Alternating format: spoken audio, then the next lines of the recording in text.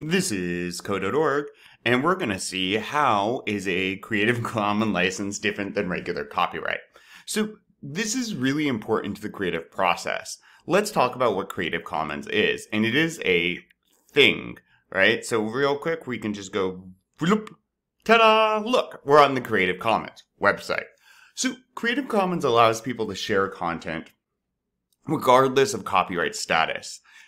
In the US, when someone produces something, they automatically own that content, a copyright to it, by and large. This gets iffy, but by and large. And that can be an impediment to people who might want to use it.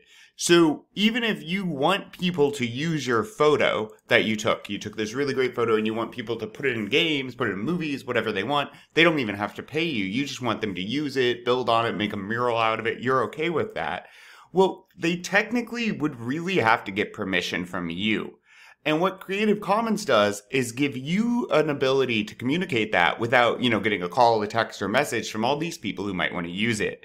Creative Commons, you can label your stuff as Creative Commons, and there are options, right? By uh, share alike or by non-commercial share alike all of these things that allow you to explain how you want your content shared and what's okay. Maybe they can edit it, but they can't use it to make money. Maybe you don't care. Maybe they can edit it all they want, use it to make money, anything they need. And that's what Creative Commons all about. Creative Commons all about sharing and building upon other people's work and allowing them to do so. Code.org actually has Creative Commons content. A lot of their curriculum is. So pretty great. And it really helps people build and learn, especially in code. It allows you to take programming that already exists and build on top of it new features and functionality. All right, so let's see what we have here. It is different in name only.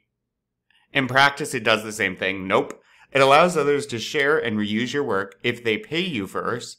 Mm, it allows your work to be shared, reused, and remixed to help spark more creativity. That one sounds good. It does the most restrictive type of copyright, not allowing anyone to use it. Nope. It's all about sharing and reuse with permission. Onward.